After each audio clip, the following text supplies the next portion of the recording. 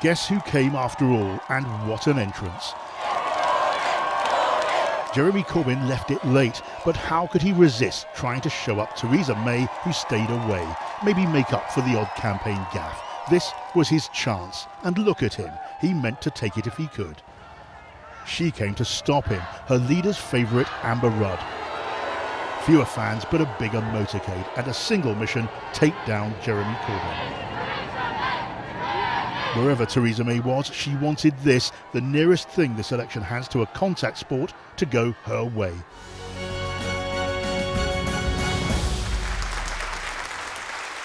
Amber Rudd was straight into the attack after Mr Corbyn criticised treatment of those on disability benefits.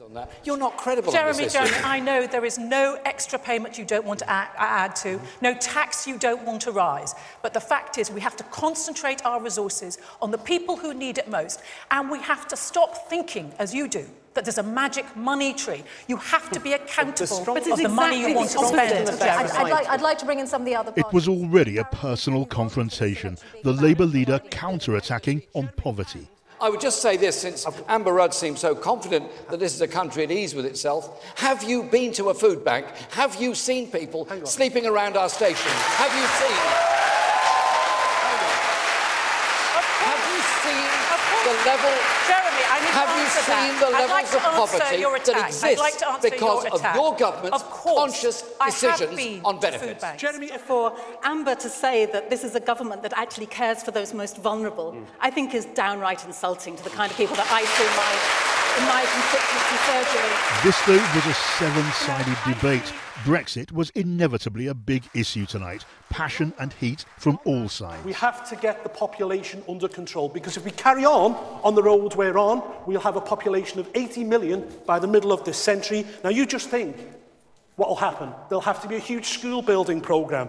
There'll be, have to be new hospitals, new motorways, a new rail network, new houses. We're already having to build a house every seven minutes simply to keep up with the numbers of people coming to this country. Okay. And I'm afraid that UKIP keep using this issue. They want to whip up people's hatred, division no. and fear. And that's why they talk about no, immigration all the time. I think this debate shames and demeans us all. I don't think there's anyone in this room or anybody watching this debate from Cornwall to Caithness who does not understand the positive contribution that people have made to this land who've come from the rest of Europe and the rest of the world. And demonising those people is totally unacceptable. Amber Rudd took her opportunity. If Theresa May had come along, she'd have said what her stand-in said next. And I was thinking how chaotic it would be if they all got together, formed a coalition, and tried to run a government what, and tried to do a coalition. And a negotiation. Tory UKIP coalition. Jeremy Corbyn was put under pressure.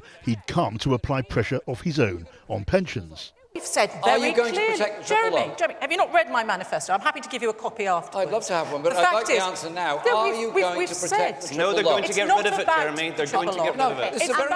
Terrorism was always going to be a hot topic, and it was.